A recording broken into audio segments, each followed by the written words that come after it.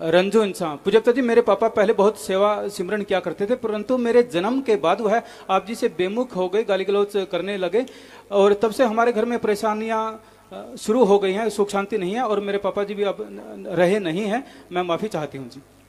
कोई बात नहीं बेटा, आप सुमन करना, खाना नाम जब के बनाना, मालक की आगे अरदास करना तो वो बख्शने वाले हैं। आशीर्वाद।